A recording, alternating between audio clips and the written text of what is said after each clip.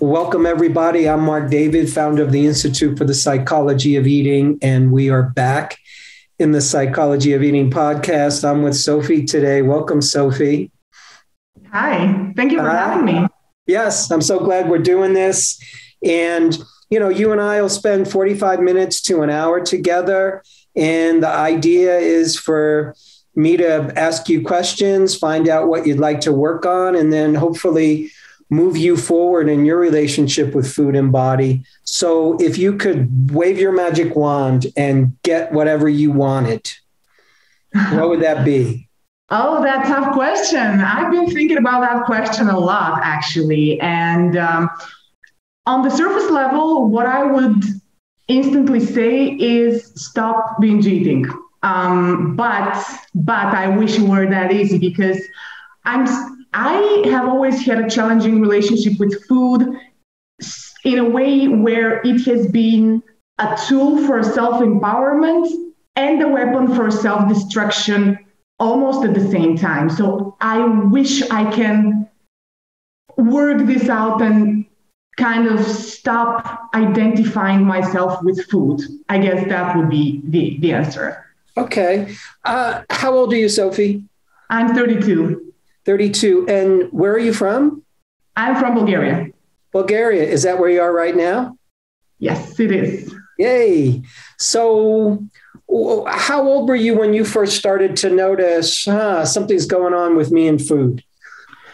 So, I think I was maybe 15 because what happened then was um, my dad's first suicide attempt. And my first memories of overeating date back to that period. But I think actually the seed of my eating disorder was planted when I was about five. And it was through a very loving um, tradition that me and my parents shared. And it was, um, they would buy me a chocolate Kinder Egg every day when they picked me up from preschool. And that was kind of this, you know, conditioning where I started associating, you know, this delicious thing with with comfort with safety with security with with home because i was a very kind of introverted kid. And so it's been over 15 years now that i've struggled with this relationship but i guess it all started maybe even earlier. Sure.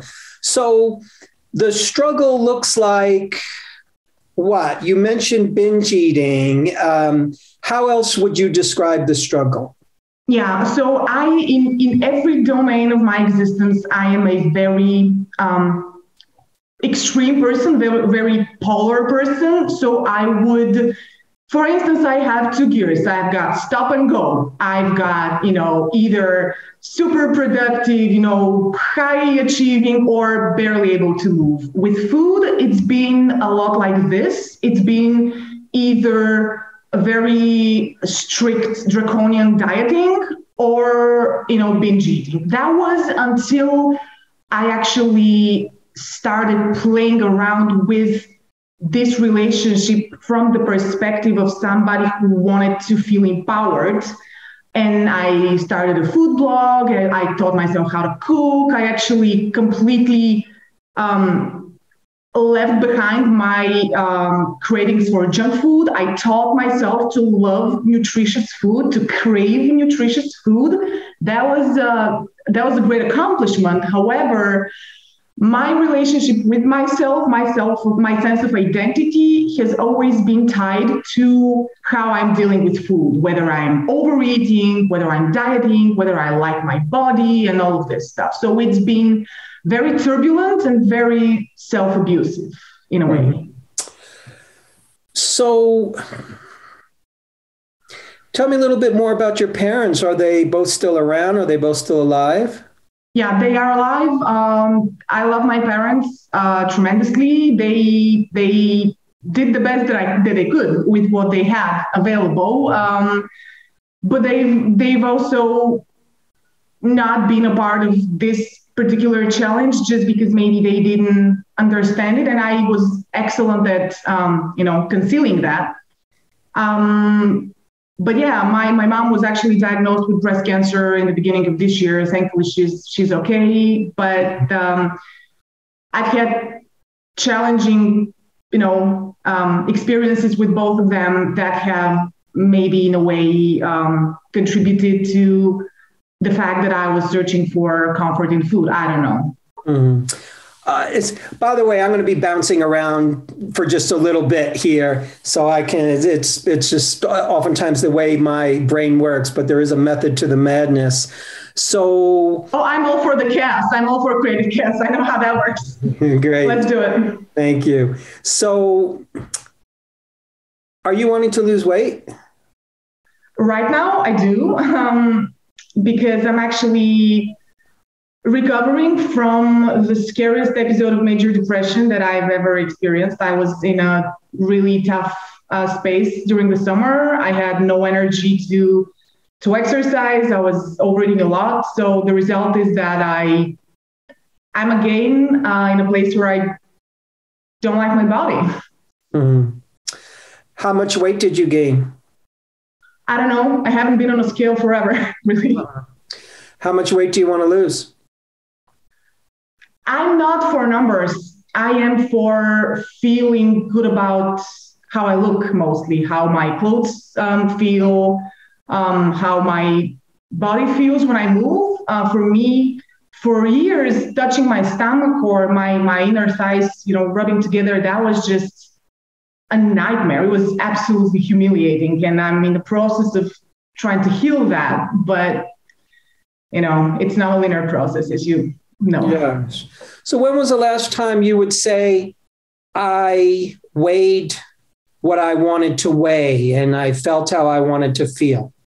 It was in the beginning of this summer, actually. I was in the best shape of my life and it, I accomplished, like, I, I got there in the healthiest way possible. I was just exercising and loving it. And I was doing it not out of compulsion, but out of just I needed, I was actually uh, relocated to the Netherlands briefly uh, because of um, the pandemic. It killed my business. I had to restart my life. I moved abroad. I found a wonderful place to exercise there. And so, you know, long story short, basically, six months ago i was um, i was in the best shape of my life and soon after i actually ended up in the scariest depression so it was a very strange period for me can you say what you think caused you to go into depression?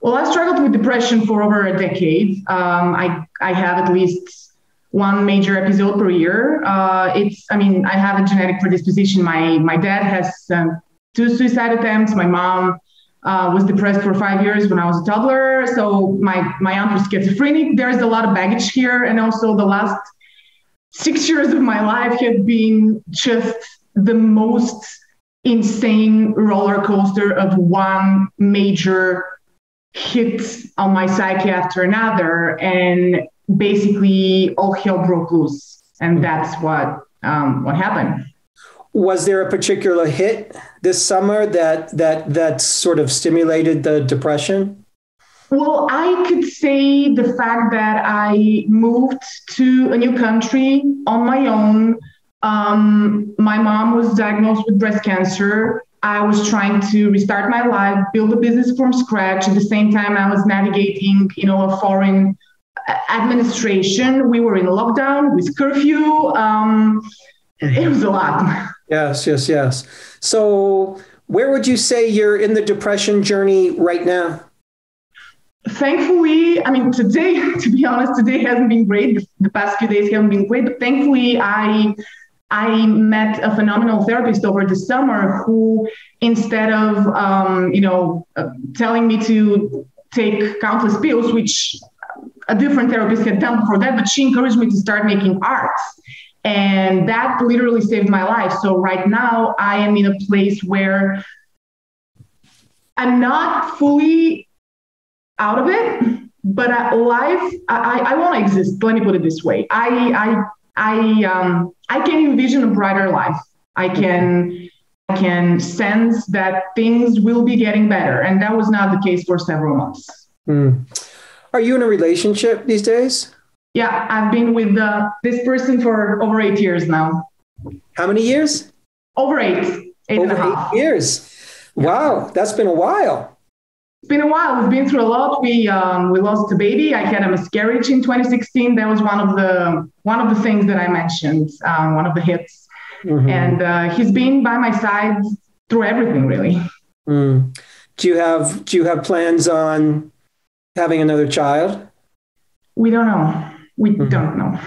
Yes. Yes. Yes. Yes. I'm sorry you had to go through that. I can't imagine. And yeah, I, I just I just can't imagine. Thank you for saying that. I'm just going to quickly mention that I am actually grateful for that because I like to say that I'm a neurotic overachiever in recovery. I was a really stressed out, self-destructive person when when I was pregnant with that baby, and I don't think I would have been the mom that a baby deserves if I'd had it. So um, I'm I'm grateful that that happened. Um, I'm I think I'm over it. I hope I am. Yeah, well, well, that's if there's a learning and a lesson to take out of that experience, then that's certainly a beautiful one because clearly it's made you a better person. It's made you a better woman, and and and I'm sure a better better mother and mother material. Um, yeah, that's that that is that is surely my belief. So so you know you want to lose weight, but it's more like a feeling as opposed to you know a number on a scale. Yeah. When are there times that you've noticed Sophie, that you say to yourself, wow, you know, I had a bunch of good days and I wasn't really worried about food and I wasn't thinking about my body that much. And I just felt more freedom than I usually feel. Does it ever happen to you?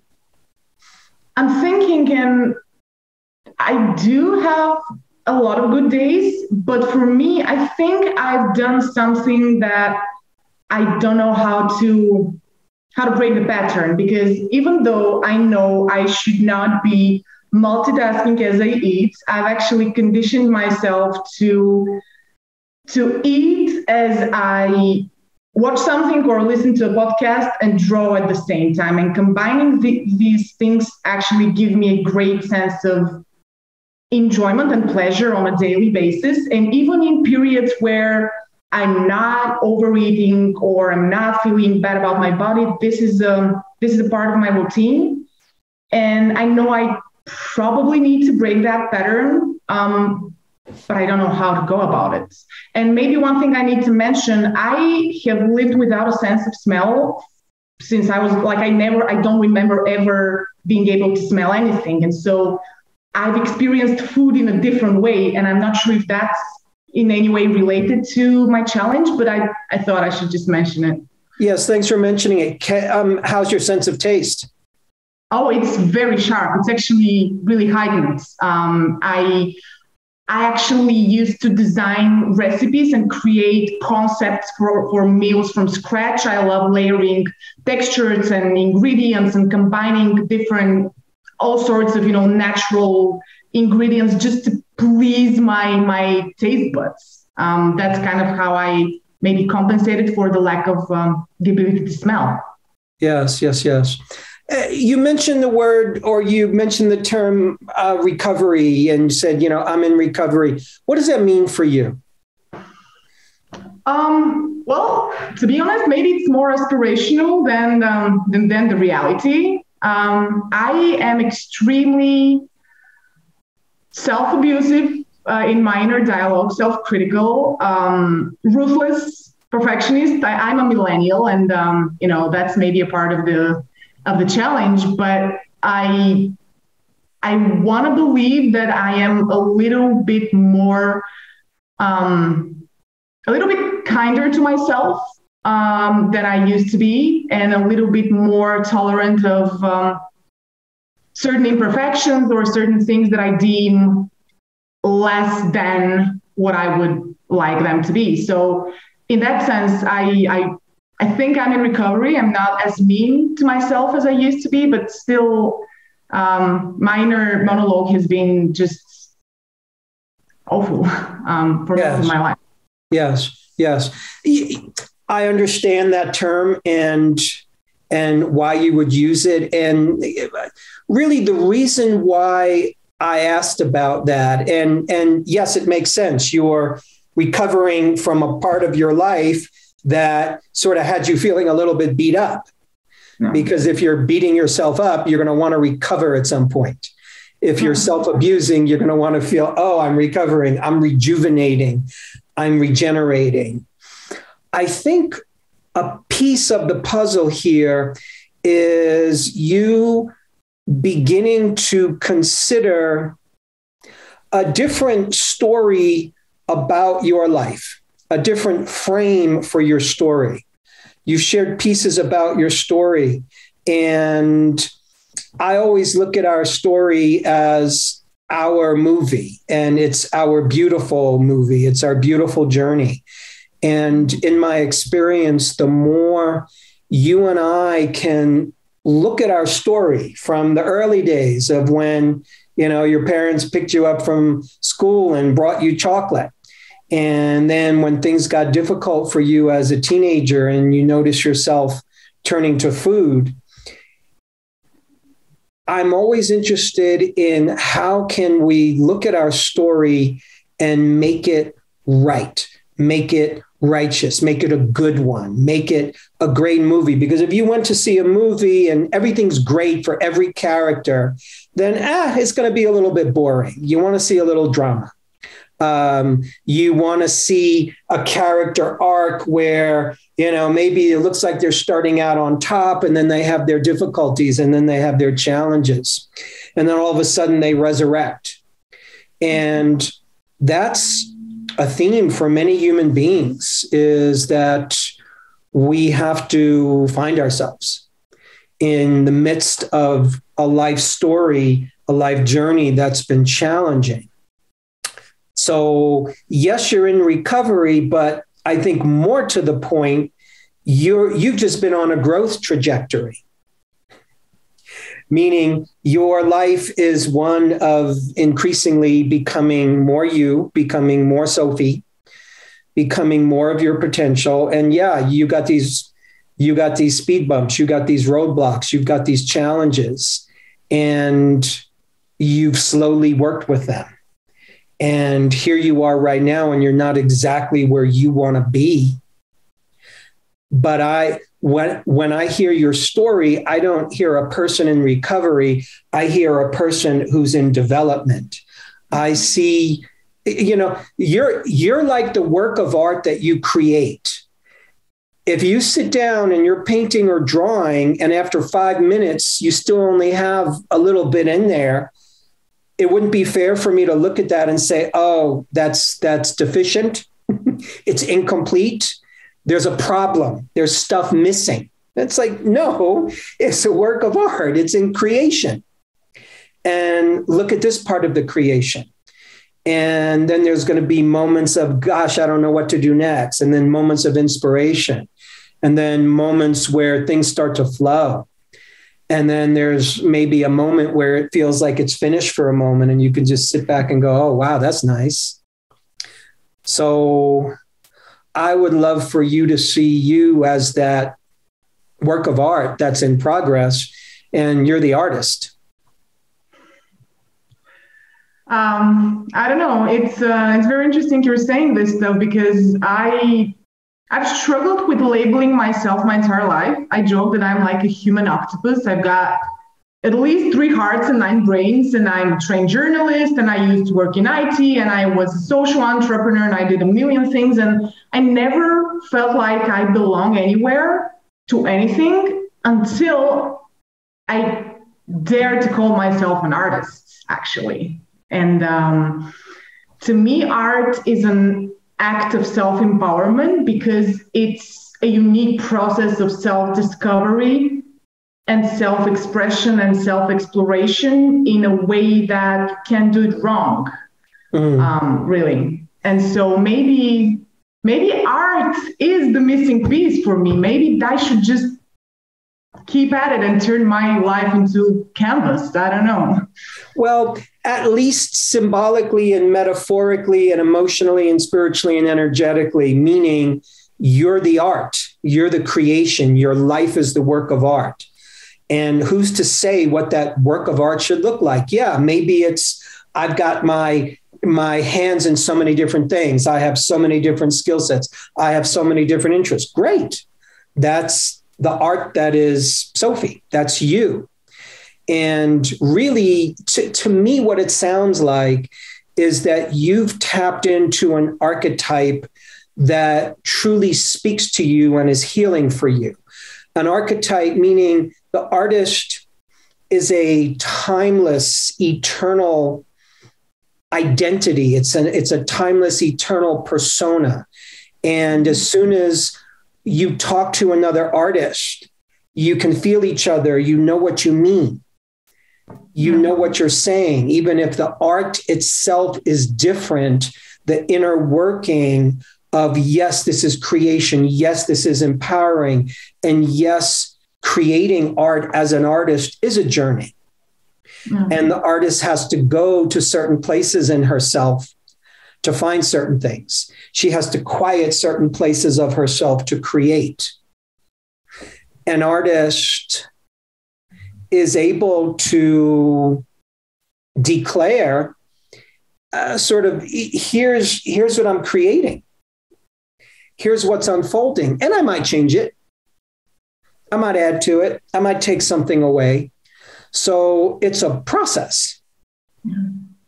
It never stops. The creation never stops. So when I say you found an archetype, you found a way to identify yourself so that you belong in this world. Yeah. yeah. And that belonging sounds important to you um, because we need to have a sense of place. And so many human beings, we have the belief, and rightfully so, I'm different. I don't belong because I see the world maybe a little different from my parents. And people are doing all these things at school. I don't like that. I want to do something else. And kids do this, and I want to do that. And people say one thing and they don't. So, as kids, we really pick up on things. Kids are extremely sensitive. And it's easy to conclude for many children, I, I don't fit in and I don't belong. And if you and I don't fit in and if we don't belong, then we have to figure out a way to medicate and feel better. Yeah. So, food in a strange way and trying to manipulate your body to look a certain way has been your earliest attempt at art? because well, I never I never looked at it that way, that's for sure. Yeah, so it's been your earliest attempt at art, meaning it's a creation. You, food is your palette. The foods you like, that's your palette. That's the colors that you use. These are the things that make me feel good. These are the things that don't make me feel good. I want to use this in my art. We talk about the culinary arts cooking is an art, dining is an art. Being a waiter or a waitress can be an art form. Yeah. Um, tasting is an art.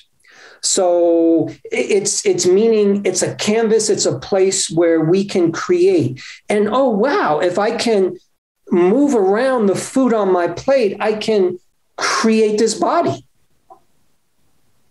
I can make this body my palette, I can make it look the way I want it to. I can make it feel the way I want it to.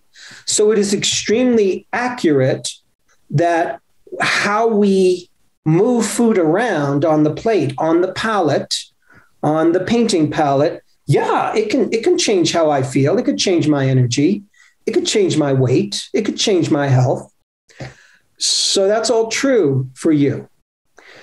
And it's not your only art. It's a sub art. Mm-hmm. Your more important art is you and your life. And the person that you want to be. And I think where you're at right now is you're discovering that. You're coming to realize that. That the art is all about, yeah, yeah, you're going to work on food yes, you're going to work on your relationship with it for sure. But also, part of the artist's way is to hmm, is to look for where the inspiration is. I think what happens when it comes to the body is, and I really wonder for you when you talked about the summertime, when you started out really great. I was exercising, I felt really wonderful. You know, I get that. You were on a roll, you were probably on a hot streak. And a lot of times we get a temporary high from a certain way of exercising and a certain way of eating. Yeah. Just everything comes together. Right place, right time, things are working out, and we get this high. And you think, we think, I have to get back to that high in order to be the real me because that high was me. I looked in the mirror, I like my body. I looked at how my clothes fit. I like that. I must get back to that high to be me. I don't know that that's true. And it's a, um, how do I want to say, it's a nuance of understanding because you can, I don't know, you could have a bunch of alcohol and feel really high and relaxed does that mean you have to keep going back there in order to feel high and relaxed? You can do drugs and feel expansive and wonderful. Does that mean you should be on drugs all the time? So, part of it is you, I, I think, also setting a different course, charting a different path for how you're creating your relationship with your body. Okay. I'm speaking in artist terms. You're creating a relationship with your body, meaning you get to paint this how it looks. Granted, it's not always easy, but being an artist and a creator is not always easy. Creation is it, it's like giving birth. There's there's a little bit of pain. Sometimes there's a little bit of blood, there's a little bit of screaming. Birth isn't always easy. So creation isn't always easy. And if you're looking to create something that's not really in alignment with who you are, pain and suffering is usually predictable what I'm saying is that there's a part of you that is very habituated, I think, to my body has to look a certain way and feel a certain way. Yeah, yeah. Well, it all goes back to, you know, re- being rejected multiple times and desperately trying to find a way to accept myself and, and like myself and approve of myself. So, yes, exactly. So now you're 32, you're wiser, you're older, you have a lot of experience in life for a 32 year old.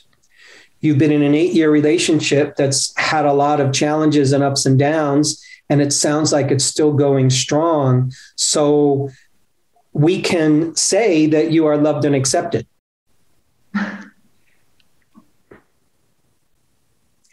You have two I guess parents. I've always been more accepted and loved by the outside world than I have been by myself. That's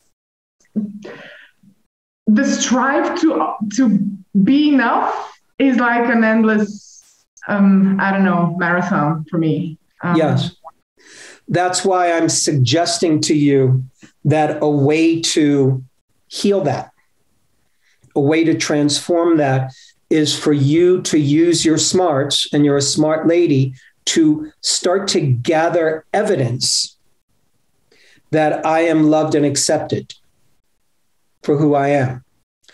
I don't care if you don't love and accept yourself fully or completely, or if there still feels like there's a hole. Of course, I care about that. But all I'm saying is your brain, your mind needs to start making the shift like, oh, wait a second.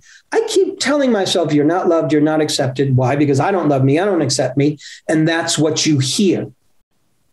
Yeah. And if I'm hearing, I don't love myself, I don't accept myself, no love, no acceptance, I'm not going to notice it as much on the outside. And I'm not going to be able to receive the gift that's constantly coming at me.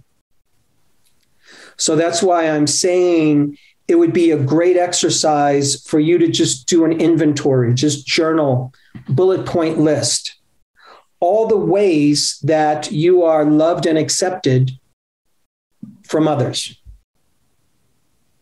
your parents, your partner, your friends, people you work with, people from the past. Yeah, I'm, I'm sure there's maybe people who rejected you in the past. Fine.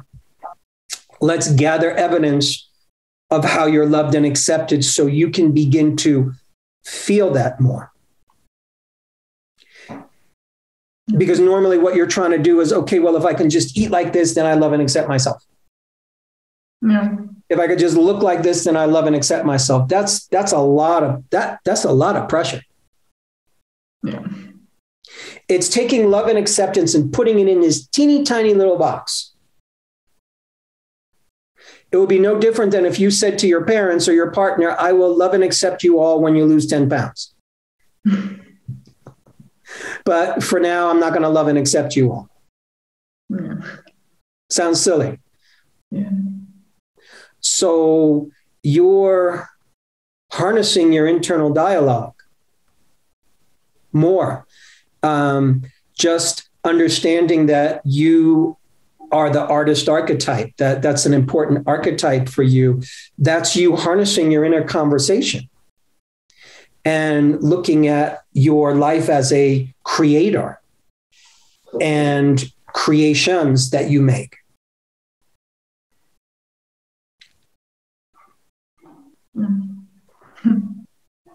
What you thinking? What you feeling?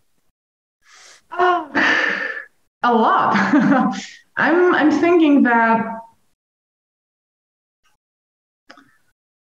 i seem to be trying different strategies and i always end up with the same type of repetitive behaviors that i know don't work for me. I mean, I know make me feel bad. Um, and I wonder why I do that. I wonder if I can, if I should do something to change it or I should come to terms with it and accept it and then it will resolve on its own. I don't know. What do you think about that? Um,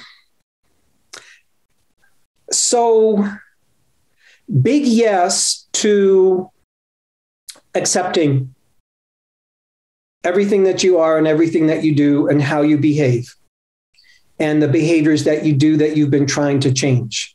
So, very, very big yes to that. Before anything changes long term in us, it often needs to be accepted.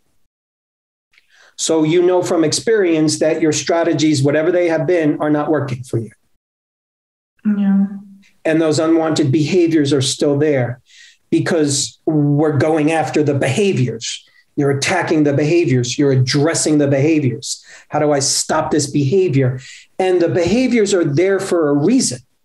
They are a symptom, they are a reflection of what's going on in your psyche, in your soul, in your system, in your emotions, in your worldview. Yeah, and, for me, it's it's actually one of the hardest things when it comes to uh, food. I'm gonna go back to that. Is that it's not like I can say, okay, certain types of experiences trigger these behaviors. I, it's not like I can see a pattern because it see, it all seems very chaotic. I tend to overeat when I'm feeling sad, when I'm feeling scared, when I'm feeling depressed, but I also tend to overeat when I'm happy, when I'm excited, when I'm and I don't see what what am I missing here? And does it even matter? Or I should focus on something else. Maybe I don't see the bigger picture. Okay. So on one level, I, I want to try to make this as simple as possible in terms of how I see some of these behaviors. Yes. So I use food when I'm sad. I use food when I'm depressed. I use food when I'm anxious. I use food when I'm happy. Like, what, what's going on with that? Um, one thing in common is that you're simply using food to accompany you on your journey, and you're using food to regulate your emotional experience. And, you know, because honestly, sometimes there's a part of us, you know, if I'm too happy, if I go too high, then you're flying too high and it's easy to fall and it's easy to crash and burn. So it's it's easy, sort of the manic depressive thing. So there's a built-in mechanism that okay, I'm really happy, let me just tone it down a bit. It's not a conscious thought. But if I'm really happy and excited and I eat enough food, I will be kind of more mellow.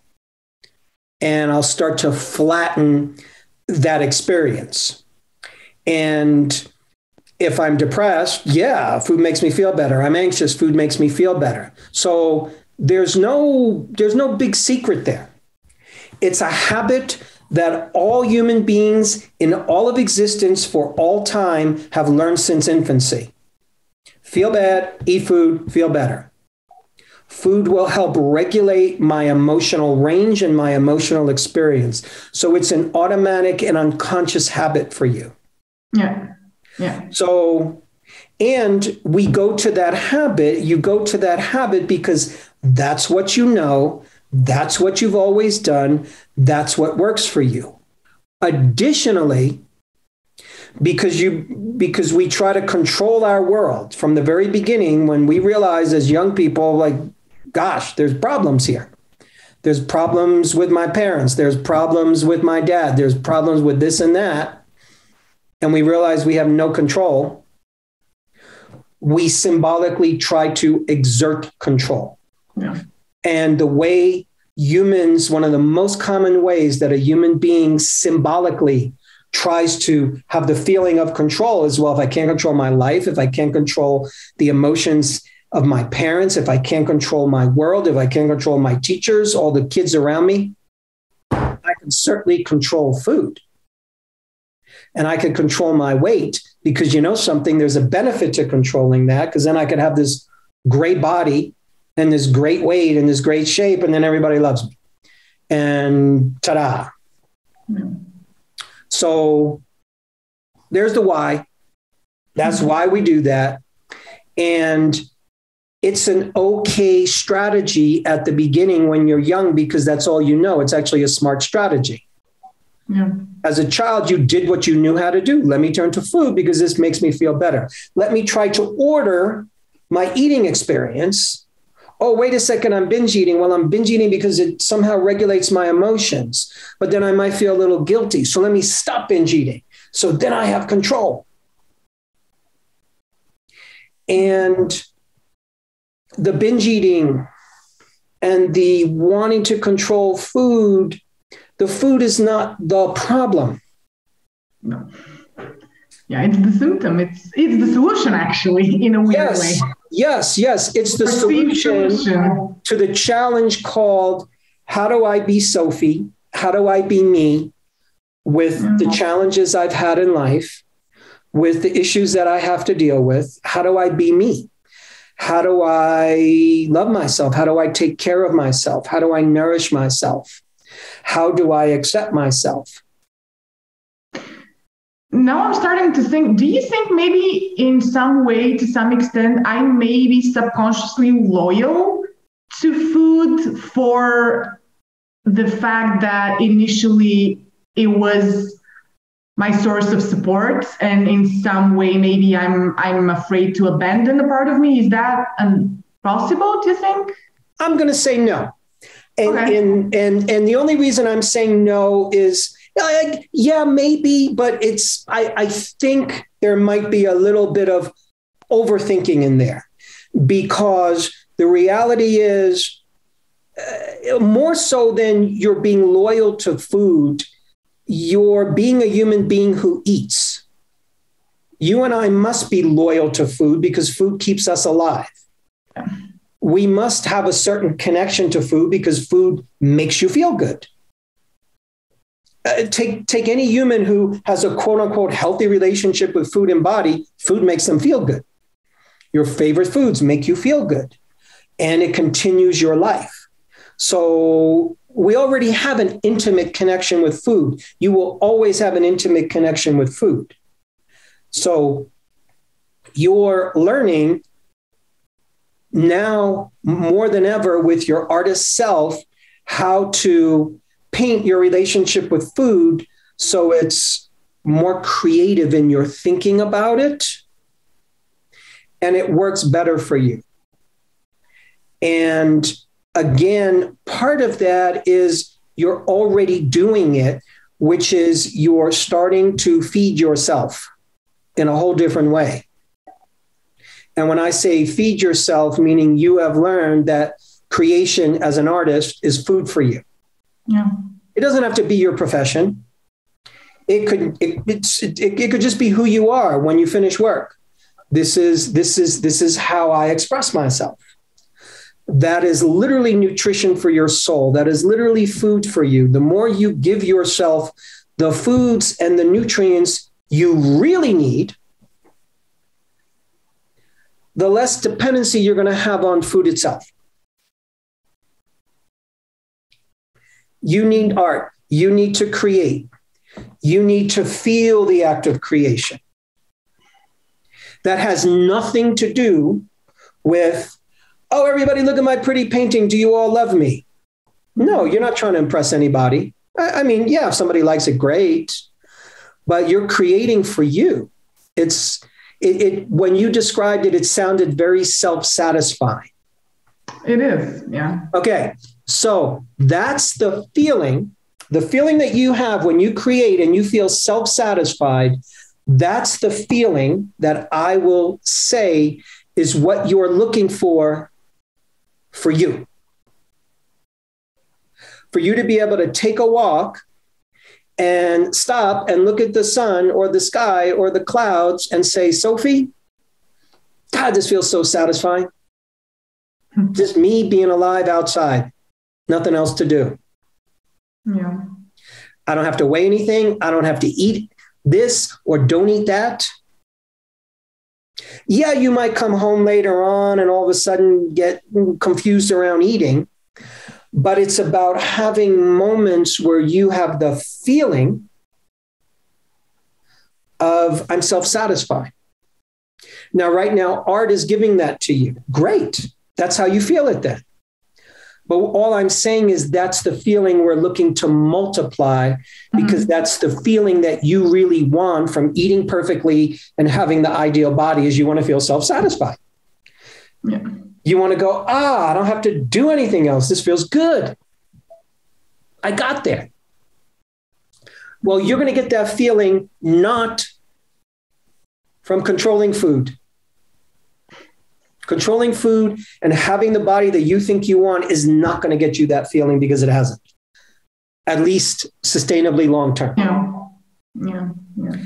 So, to me, what happened for you in the summer is sort of symbolic of the journey in a weird way. I don't know if this is true, but I'm postulating a part of that experience where you went from this high to this low mm. Is just teaching you that that high is not your truest resting place. That's that's not your target. I also want to say uh, this is slightly changing the topic, but not really.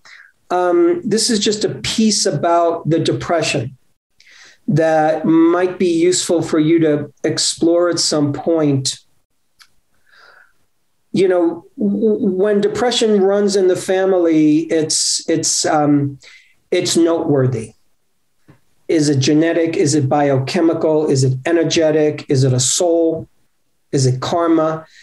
It's probably some mixture of all of the above. But what is often missed with depression is there's a, a chunk of people who their depression is actually triggered by stress and anxiety and overwhelm. Yeah. And it's technically a freeze response. So in nature, it's fight or flight. The lion is chasing you, it's fight or flight. But there's another stress response, which is to freeze. You just go, oh. And a lot of people who experience depression, what really happened was there was life experience that was too overwhelming for them. Mm-hmm. And when things get too overwhelming, one of the ways we deal with that is we just turn off. Yeah. Well, that's exactly how I felt over the summer. I mean, this one was the worst by far, and my brain was literally functioning at 20%. I couldn't articulate my thoughts, I couldn't communicate with people. It was just, I was on, I don't know, it was barely existing. So I'm guessing that that's uh, that's exactly right. It's kind of like a mechanism for self-preservation in a way, maybe. Yes, exactly. So it's literally helping you survive because your system couldn't take any more. It just couldn't handle what was happening. So there's too much sensory input coming in, there's too much anxiety, there's too much confusion. I'm shutting off. I'm going on 20% brain capacity. I'm not going to hear 80% of what you're saying and you're saying and you're it's too much. So that's actually a protection. So all I'm saying is you can forgive yourself for that, and your issue is not depression per se. Once again, the depression is just symptomatic of you learning how to handle your life better and better. Yeah, yeah. So it's not that you did something wrong. It's it's it's that, wow, that was just too overwhelming for me. And by the way, understandably so, because COVID times has been tremendously stressful for many human beings around the planet. So it's not like you're doing something wrong, you're being impacted deeply by your environment. Yeah. So so this is part of the restoring, having a different story about yourself and I just want to remind you of a couple of uh, uh, pieces of this conversation here. One piece of the conversation that I, I would like for you to, to really consider is you creating a new path for yourself or a new goal for yourself around your body and your weight, different from how it's been. I think the old you has been looking for a certain weight, and you assess that not from weighing yourself, but you're assessing it from your clothes and you're assessing it from looking at your body mm-hmm. and a certain feeling that you know happens when you hit a certain amount. So, what I'm saying is that is unreliable. That is no different from me saying, okay, well, when I drink enough shots of whiskey, then I'm going to be in the exact place I want to be. So I'm saying you've been, you're going for what has been for you a temporary high. Mm. And I would love to see you let go of for now, for now, for now, for now. Just, just give yourself some months to let go of having to lose weight, having to feel a certain fit in your clothes, have clothes that fit you for this body right now, and call off the part of you that is trying to change your body so you can love yourself more.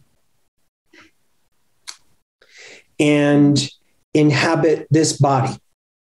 Start to occupy this body is no different than if you were working on a canvas and while you're working on the canvas, you know, I don't want to work on this canvas. I want to work on another canvas. This canvas isn't any good. It's actually too big. I want something just. And then you're not present with your art. You're not present with yourself. You're not present with your creation. You're wishing for a different canvas, but that's the only one you got right now. So you've spent a long time trying to have a certain goal with your body. That goal hasn't gotten you where you want to go. So, all I'm saying, let's just relax that goal for a while. We're going to just put it to the side. I'm fine if you pick it up at some point, but I want you to have the experience called, huh, I'm going to just let go for a number of months of that conditional goal. The conditional goal being when I make a certain amount of money, then I love myself. But if I don't have that amount of money, I hate myself. Mm-hmm. If I have this body, I love myself. I don't have it, I hate myself. So as soon as you have that goal of I will love my body when I look a certain way, then food becomes more important. You go into stress response because oh my god, this is this is life threatening. If I don't get what I want, I'm going to die. Like a part of us believes if I don't get what I want, I'm not going to survive. Some part of me dies. I'm not going to live. I'm not going to be who I am.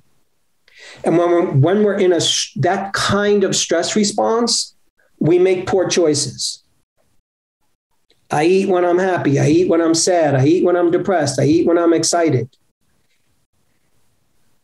And it's harsh and it's mostly driven by this unfulfilled goal of, yeah, but when I get to a certain place with my body, then I'm going to love myself and everything's going to be okay.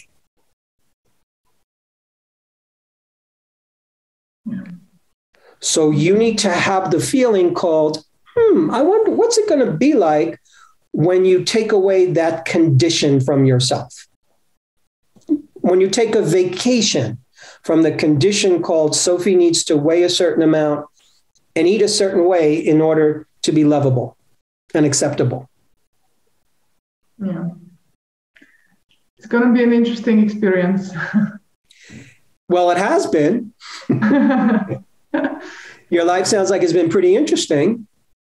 That's for sure. It is not boring with me. Never. Yes. Yeah. So it'll likely continue to be interesting, but in a more interesting sort of way. you know, like I mentioned, I am actually a trained journalist. I am a storyteller, so I might as well just write my own story, tell my own, retell my own story, rewrite my own existence. Maybe that can help. Yes. And look at everything that's happened in the past as sort of life painting you life creating you, life adding these colors, adding these experiences to help you learn, to help you grow, to help you become more of who you are. Because you're a powerful woman, you're a present woman, you're an aware woman, you're a sensitive woman, you're a woman who has relationships and connection in her life. That's all very beautiful. Is it perfect? No, but nobody's life is perfect. Oh, no. Yeah. Um, there's a lot going on in my mind right now, and it's um, I'm really grateful for the the valuable perspectives. That's uh, that's been I, have been excited about this conversation for a while. I'm glad. I I I would love for you to consider that your life is no longer I'm in recovery, but your life is I'm creating my life. And I'm, I'm painting my life. And, and, it's, and it's not always going to be easy, but here's how I'm creating. And when you're when you're being an artist, you create certain conditions around you such that you can be in the artist moment and in the artist way okay, you might create a little bit of quiet. You might turn off your cell phone. You might turn on some music. You might have a certain lighting. You're creating conditions where you can thrive and creation can happen. So, really, what we've been talking about is creating conditions where you can thrive and create. Letting go of conditions that don't help you thrive and create the condition called Sophie has to look a certain way and weigh a certain amount in order to be loved and acceptable. That doesn't help you create. It puts you in a corner, it puts you in a stress response. No reasonable creation has ever happened, probably in human history, from a pure stress response. When we're in a stress response, you're fighting for your life, you're not creating a great work of art. Yeah. That's for sure. A lot to consider, Sophie, yes? A lot, a lot, definitely. A lot to process. I'm going to be watching the recording multiple times. I'm so glad. I, I'm I'm really glad we had this conversation.